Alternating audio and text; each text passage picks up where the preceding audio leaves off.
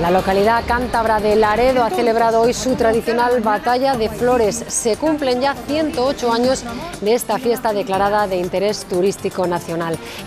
Todavía muchos puntos de España celebran fiestas en este último fin de semana de agosto. En Laredo, por ejemplo, en Cantabria, han disfrutado esta tarde con la Batalla de Flores, una fiesta de interés turístico nacional. Trece carrozas engalanadas con flores naturales compiten por ser la más llamativa.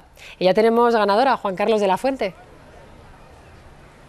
Pues sí, efectivamente, tenemos ganadora y tenemos a todas las carrozas aquí expuestas, momento que aprovechan tanto los laredanos como sobre todo los muchísimos visitantes que hasta Laredo se han acercado para hacerse fotografías con todas ellas. La ganadora Astarot, el gran duque del infierno, una representación verdaderamente llamativa, impresionante. Concluye así para los carrocistas un trabajo de muchos meses, más de seis, entre el diseño, la preparación, la construcción y sobre todo la finalización de las carrozas que están hechas con flores naturales, colocadas las últimas anoche mismo y pocas horas antes de realizar ese desfile.